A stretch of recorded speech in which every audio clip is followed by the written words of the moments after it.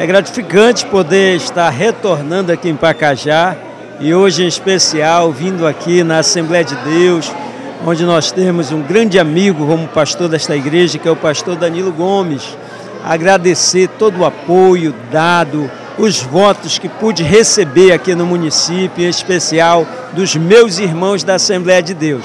Também tive uma oportunidade de reunir com lideranças políticas deste município, aonde nós já temos é, o Partido Republicano, que é o partido no qual pertenço e o qual eu administro nesta região, já criado no município, sobre a direção é, de muitos irmãos aqui, o pastor Danilo e a equipe que assumiu o partido para, a partir de então, conduzir e termos bons candidatos concorrendo na eleição de 2024. Então, atuando dentro do mandato, ouvindo as demandas para que se possamos lá na LEPA levar perante ao governo para que possamos é, trazer políticas públicas que venham beneficiar principalmente aqueles que muito que mais precisam.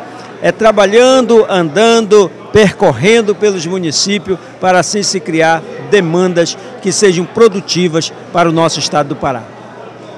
Nós estamos alegres, felizes por estar nesta noite participando desse grande culto, né? Abençoado. À tarde nós tivemos uma belíssima reunião com os nossos futuros candidatos a vereador, com a participação do nosso deputado estadual Josué Paiva, tratando assunto, né?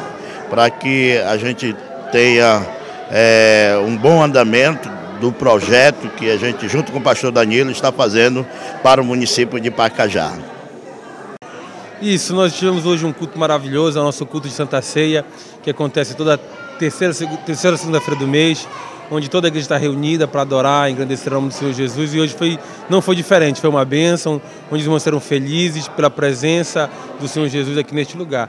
E hoje a gente teve, em especial, a visita do nosso deputado Josué Paiva, que esteve conosco para passar o culto. E à tarde nós tivemos uma reunião com os membros do partido da igreja, o Partido Republicano, na qual ele é o responsável, e junto com vários irmãos e de vários locais do município, da Vila do Bode, Vila Nazaré, eh, Bom Jardim, Arataú, onde nós estamos organizando para que o partido possa ter candidatos em todas as vilas e vicinais da cidade, juntamente capitaneado pelo deputado Olival Marques José Paiva.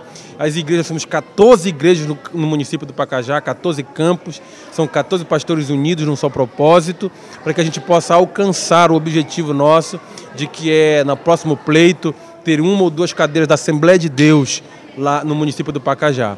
E nós estamos caminhando em unidade e muito feliz, porque Deus tem dado êxito naquilo que a gente tem planejado. Observamos também que os irmãos, né, é, ficaram agradecidos é, pelo deputado ter vindo à cidade, né? É, agradecer os votos recebidos aqui pelos irmãos da Assembleia de Deus. Sim, sim.